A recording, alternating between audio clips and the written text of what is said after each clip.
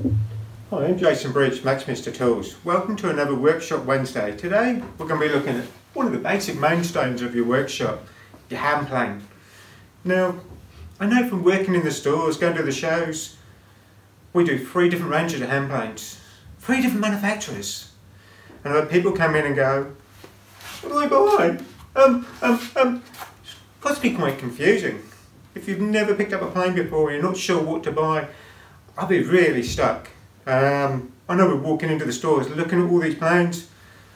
Which one? What does what? Why? Do they have different uses? Yeah, they do. So we're going to answer some of those questions this afternoon.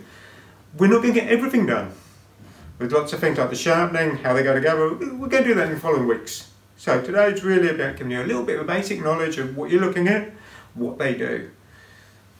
This plane really, I'm going to pick up, let's get into this, right? The number four. Planes are numbered, okay? So this is a smoother. Number four, you can go smaller, but number four is probably the most common. Weirdly, when we buy a plane or people come into the store, they seem to think this is what they want. And I've often asked that question, why? Why do you want that? Most common answer we seem to get? My dad's got one. And your dad wasn't wrong, is he? So you're always going to go and buy what your dad possibly had. Sadly, no, if you gave me an option, I'd go with something just a little bit bigger. So we said number four. If we go four and a half, I'm going to show you a comparative now. Four and a half, a bit bigger, a little bit heavier. Okay, that's shown nicely on the camera. So it's a bit wider. This has got a two inch blade, two and three eighths. It's also a bit higher, a bit beefier, bit heavier. Heavier planes, why? Heavier plane means actually you've got momentum to keep it driving. So the weight you can use to keep things operating, keep it pushing down, puts weight on the workpiece, helps you actually do the cut if you like. But you've got to be able to control it. So if a plane's too heavy, it's going to be difficult to control. So we're going to put these back on the bench. We'll get you to pan along in a minute and have a look. Different sizes, give you an idea what the range is, the basic range of hand planes. So we've already said, we started over class side, number four. There are smaller planes, go three, two and one, but they're not as common. So four, four and a half, five, five and a half, six, seven, then you come up to eight. Now, I'm hoping you're getting an idea of the scale of this now, because number eight, pretty long, pretty massive. Okay, and again, we already said these have names, so try plane. Right, so there to there. Six, fore plane. Five, jack plane. Jack of all trades. Four, four and a half, the smoothest. So those names relate possibly to what they were used for. And if you go back through the history books, these have been about for about 150 years old. They were developed by a guy, Leonard Bailey. He sold the rights to Stanley.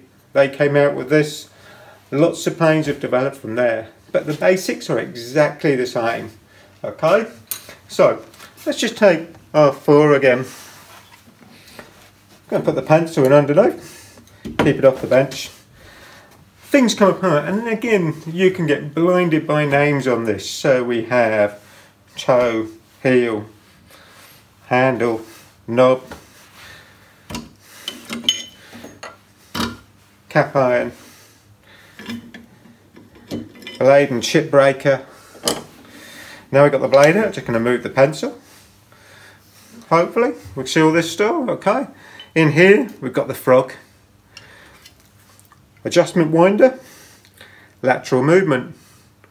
So there's lots of different components in your plane and then it's, you're familiar with all those components can make it quite scary. People start going on about different things you wouldn't possibly know. Next thing we can do, let's just have our blade and we're going to go over different things like the sharpening on this style of plane. Let's undo this. We have our chip breaker and blade. So we have our blade, the chip breaker. These two come together.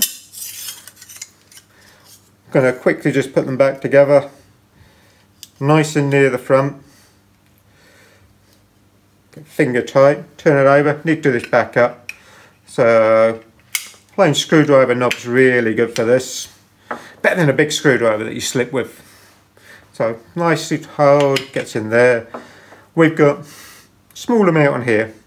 Millimetre, two millimetres maximum. Chip breaker is on the top, blade is underneath. This style of plane, and the blade goes in, is bevel down. So the blade is there, cutting edge, the bevel goes in. The screw has to locate inside to there. Okay, gently in. Locate it on the lateral movement. This allows us to move left or right.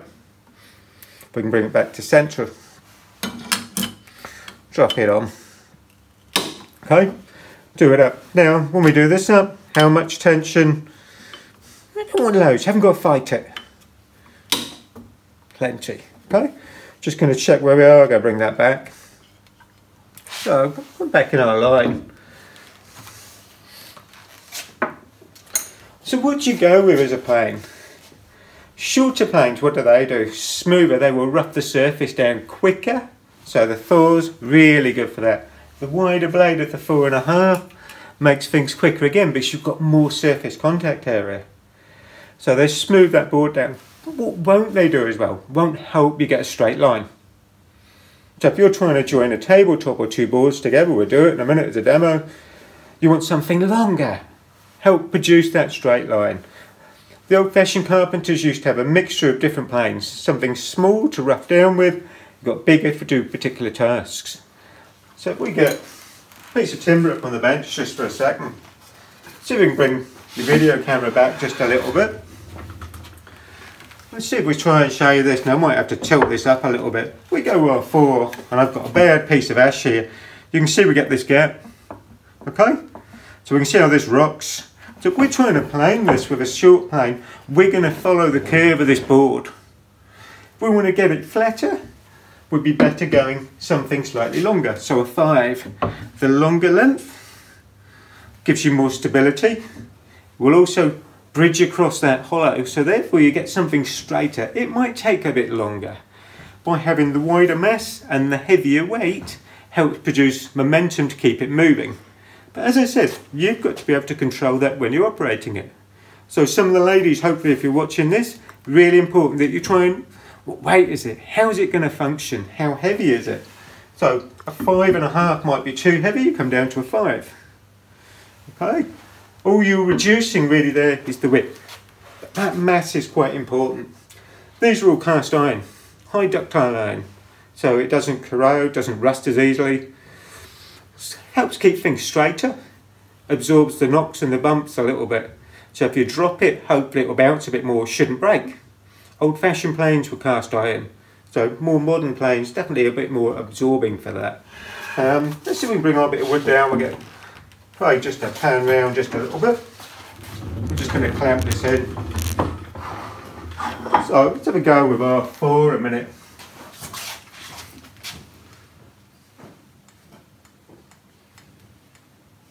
So gently wind the blade up, just setting up. Short piece of wood behind you, Craig. There they are, okay? Just one, okay? You want to set the blade up. I've seen these guys, now this is interesting, they turn it around, they try and wind this forward and they're sort of, oh, what have I got? Looking, sighting down the plane. Can be so much easier with this. Take your plane, gonna turn it round. We know we've got the adjuster down in here, winds things forward, short piece of offcut. Test it, nothing happening.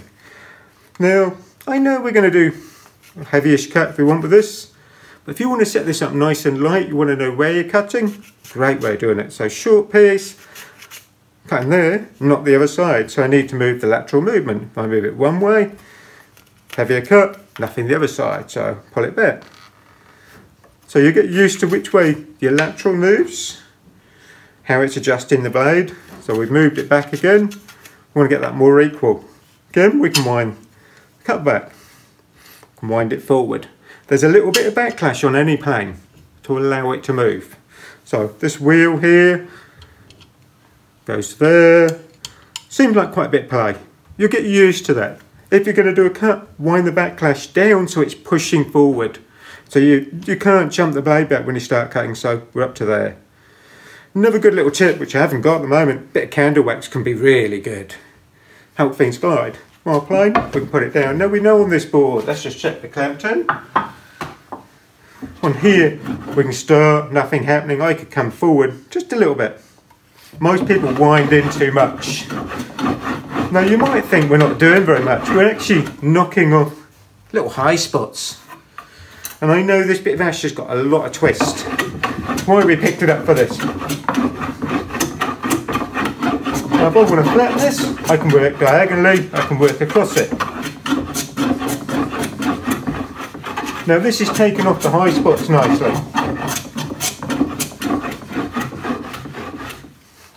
Other weird thing that customers go, yeah, but it's not taking a lot. No, and I'm not swatting well. So if I actually want to control this, if I wind it forward lots, I've got to oh, push a lot more. Momentum becomes more of a challenge. I can do something a bit heavier. You can see it's cutting nicely. Next other important thing, we're getting these nice big shavings, look. My body stance is quite important for this as well. Feet action, so Craig's just going to zoom you back a little bit so we can try and have a look. I've watched people when we do the teaching sessions with us, they've got to have their feet together, or they're totally wrong place to stand. You've got to be able to get in here. My left foot, because I'm right-handed, goes there. Hand goes across the top. Push down. So I can actually use my weight above the plane in reality to push it down. We're still cutting. Okay, so we're working back, we're flattening this off. We could check it by putting the plane across. I can sight it. I know there's a lot to go on this. Okay? Now that was on a four. I'm just going to change planes a minute. I'm going to come up to a five, five and a half. Slightly bigger. I know on here, just got uh, our cut, going to bring it forward again. Now this has got a bit more mass to it, a bit more weight. So therefore I can use the momentum. Keep it going.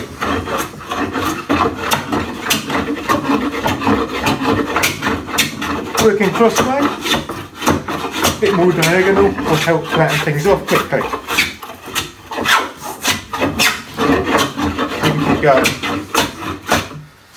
So hopefully now you're starting to see we can flatten something quite quickly. Difficult to see possibly from there. I've actually got a nice flat bit there. To give you an idea of this bit of board, something I normally use when we're doing machining class, got an immense amount of wobble. Okay, twist in every which way. Best thing I could find to try and show you how you can level something back. What's quite astounding with this, everything that was made 200 years ago, furniture and everything, it's all hand plane. So we started short plane, it will help us knock off the waste quickly, but I want to get it flatter, need to go something longer. So that leads nicely to, look at these. I want to join them. I've drawn a couple of arrows on this so I know where we want to be. Going to put them together. So for this, I'm going to put them in the vise. So go go there. So gently, Craig's going to swing himself back a little bit. We're going to drop him down into here for us. Okay? Just going to level him up with my fingertips. Need to come up out the vise a little bit. Check where things are. Now by plating the two together, even if we're out of square a little bit along the length, as the two come together and we've done it like a book, they open up, it'll match the same angle, which is great, makes it easier. The other advantage with doing the two, it makes it more stable because you have a wider area to sit on. If it's one board, we're going to wiggle along. So two gives you a bigger surface area to sit. If we go short plane, number four, if this board is slightly hollow up and down, it will follow that contour. It will make it difficult to get two straight edges to join together. So if we go something bigger, where should we go? Up to the 8. Big plane. Check what's happening. Nothing cutting yet. Now I know with this, I've wound them, set them up a little bit, bring it forward, all the way through.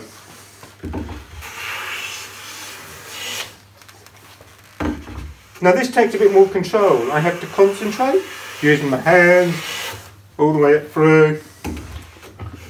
my body stance changed a bit. I've got enough angle so I can actually work with my feet, change my weight, follow the cut all the way through.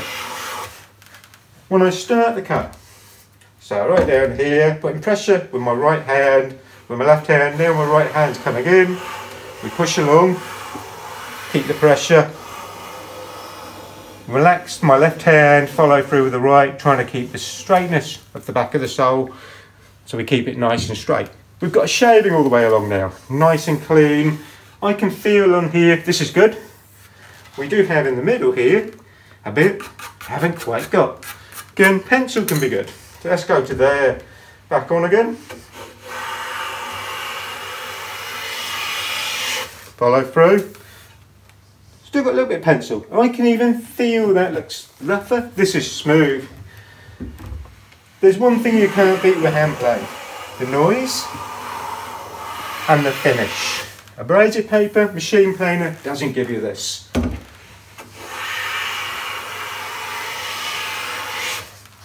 Okay, hopefully, putting back in our line. Now by using that long plane we bridged across this surface, that's helping it keep it nice and straight. As we said, something smaller can be more difficult to get a straight edge.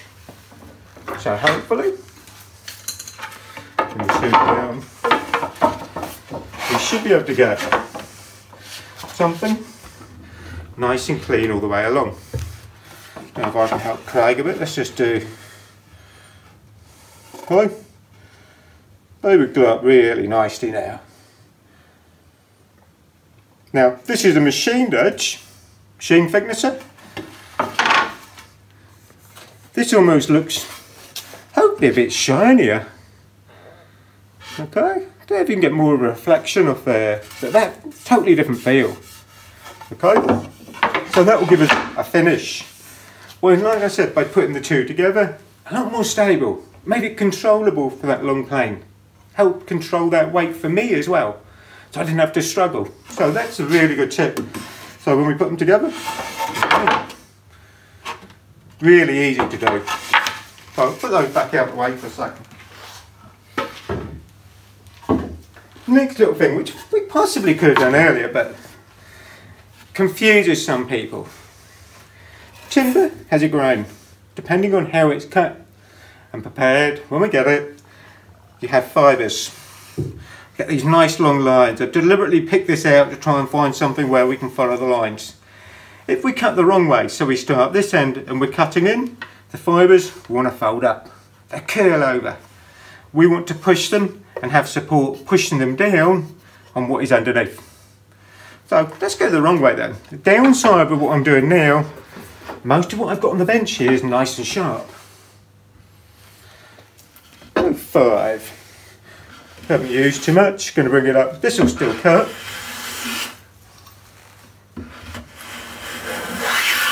Taking a slightly heavier cut. One more. So we, as we said, this is going against the grain. We're not going to adjust the plane, we're going to leave it there. We're taking a relatively thick shaving. I think it's a thick shaving anyway, okay? Um, down through here, just see where Craig is. Can you see this little white fleck on here on the camera, Craig? Hopefully you got, all right, let's have a look.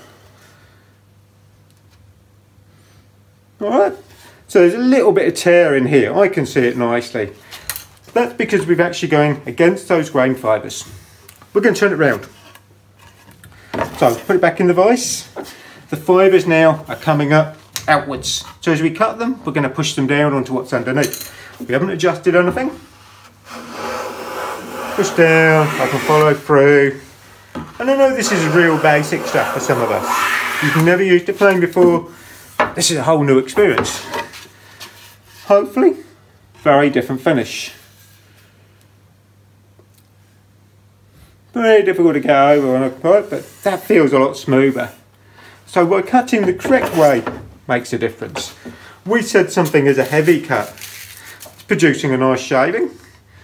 Everything's working properly. Going to bring the winder back a little bit, come back up. See if we've reduced it very a little bit. Nothing, good. Forward a tiny bit. So we adjust the winder don't need to move too much. Light little shading now. Now the larch we've got in the vise, quite a coarse material, softwood. Lovely fine shaving, okay?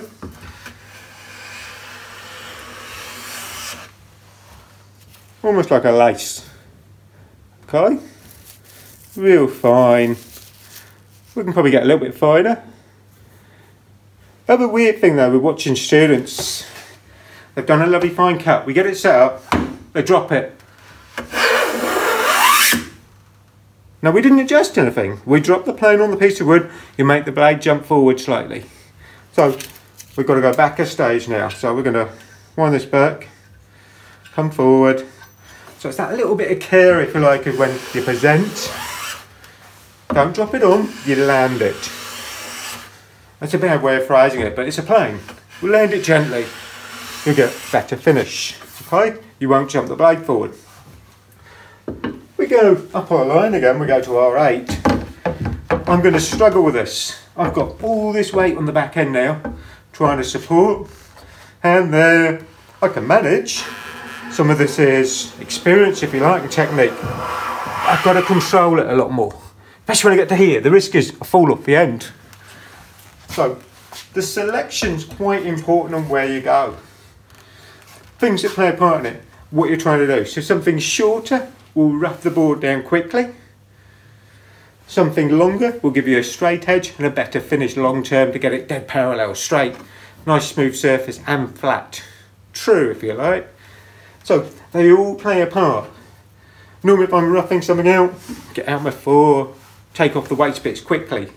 Quick to control, not too much weight, not too heavy to do. Then I go up a plane, maybe up to a six, seven. Use that, especially if it's a bigger board to join tabletops. Definitely my seven. Something longer, makes it easier to do. So we've looked at bigger planes, standard bench planes, all right? They are all bevel down. The blade in reality is upside down, you have a chip breaker. So let's move our bit of larch. We then have things like block planes. So we'll move these around to here, make it easier so you can see. Again, different manufacturers, different makes, lots of different block planes. They even vary slightly. So on here, we can turn these round. Let's have that to that. I'm going to hold these and try and show you what we're looking at. Now on here, the blade is down in here. Okay? The one over, slightly different angle, steeper. Okay? So bring it round, so blade is lower. Okay? Now we haven't mentioned anything so far a blade angle. It's something as we go through a series of different videos we're going to do, going to be a lot more in depth. On the standard bench planes we've used, they were all a 45 degree set angle.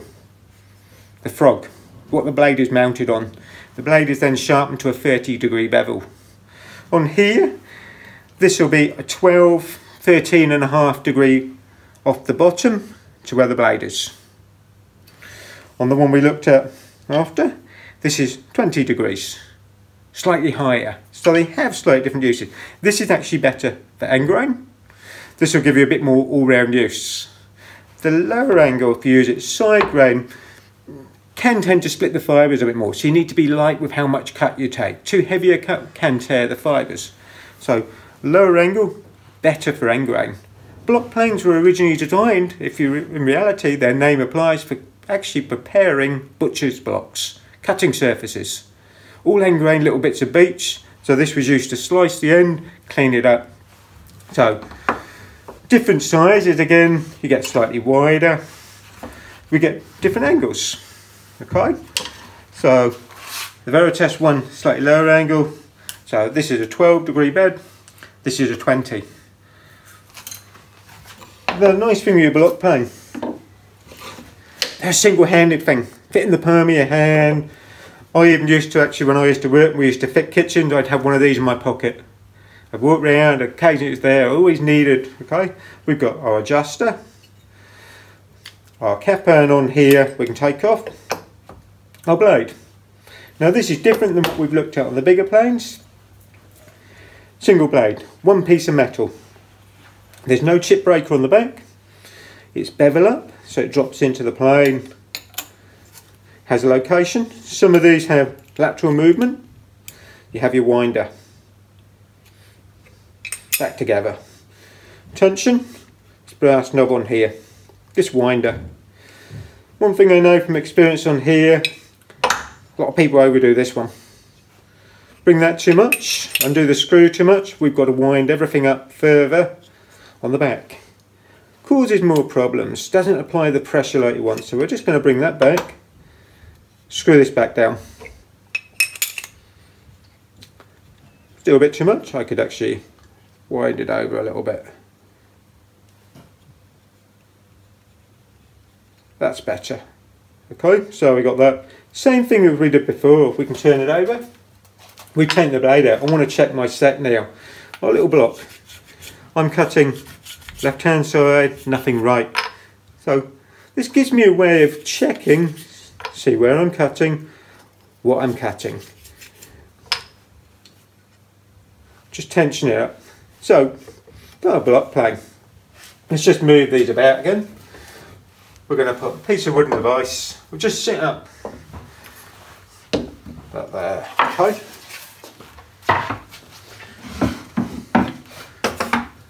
So, in reality, let's move a few things about. Got a piece of pine. We want to plane the end grain. Going to come across. At the moment, I've got to wind the blade forward. If you come across here, the fibres now, if we're cutting end grain, the grain is running upwards. Planing with the grain's easier, end grain's harder to do and harder to control. The risk of going across here we break the fibres out on the back edge. We splinter them off. So we want to make sure that we can control that a little bit more. We could have something, and this is the, one of the easiest ways, put something on the back. So here, I'm going to use one of these, hopefully. Over there. Tension. Got to move my bit of wood down. I'm going to turn it round so you can see where we are on. So we've got our clamp. We, reality, fixed on a scrap piece of wood on the back. Just going to do that up.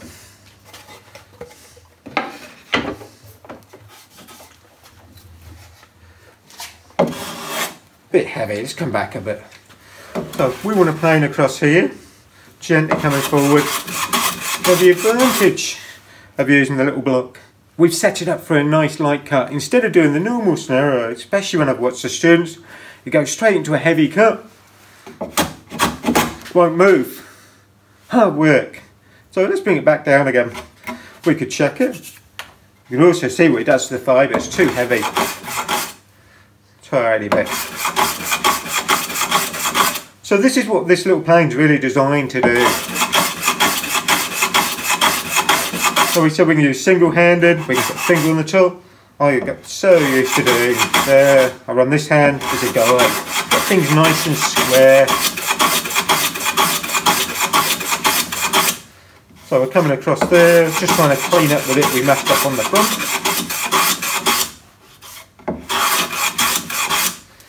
So the nice thing with this is we cut the surfaces nice and clean. We've got a little bit we get there where we know we hit it hard.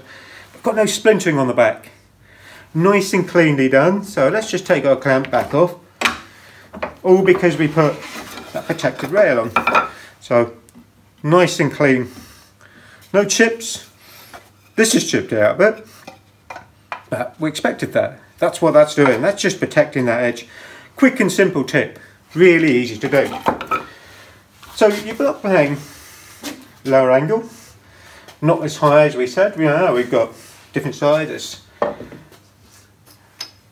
all of the planes reality we've got on the bench, nothing there is actually new as a design. It's been about possibly 100, 150 years ago.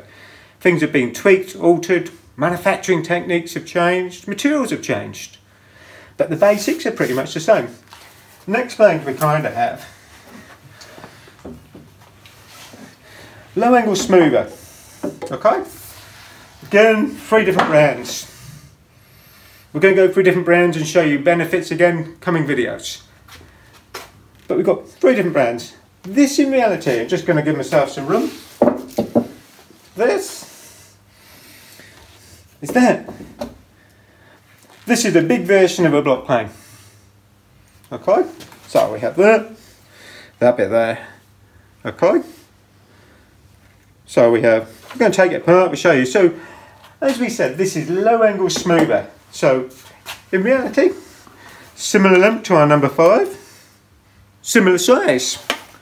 So that's where the name smoother comes from. Low angle, a lot easier to do. So our chip breaker is there. Our blade, there. There's no frog. Okay, so they've got those two. Uh, a lot more basic in setup.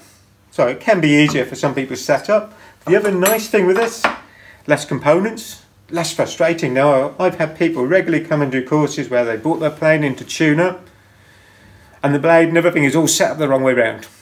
This is bevel down, they come with bevel up, they've got the chip breaker the wrong place, they can't get this wrong with this.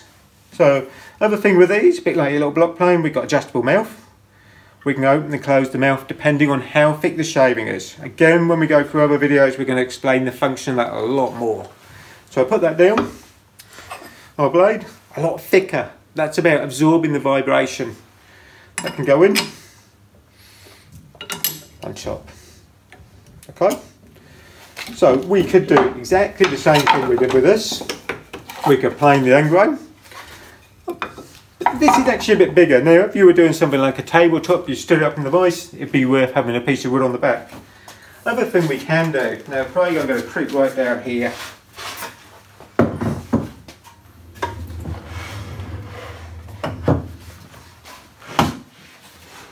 Get in the right place. Have that, that'll work a bit of larch, oh, I'll play. We have simple shooting board set up. Now with this being low angle, we've got backstop, something presented at 90 degrees. This is really basic as a setup, but allows me to shoot, get a nice square corner with actually a cut surface. So That'll give me nice clean fibre. Got a little bit of a scratch line, so let's have a look. Anything on there? But hopefully you can see that looks nice and clean. This is a softwood. If I cut this on a table, so I, I guarantee I'll probably get more tear out marks than what we got off the plane. So it gives us a nice clean area. Back in, give you an idea of what's going on.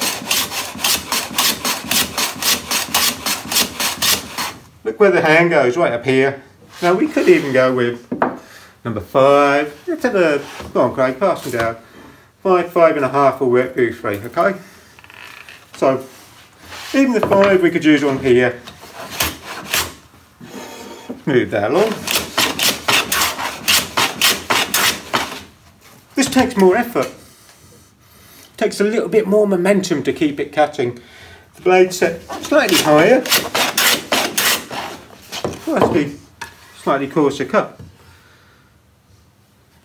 Major thing I noticed, more effort to push it through. So I need to push harder. Maybe the blade set a bit heavier.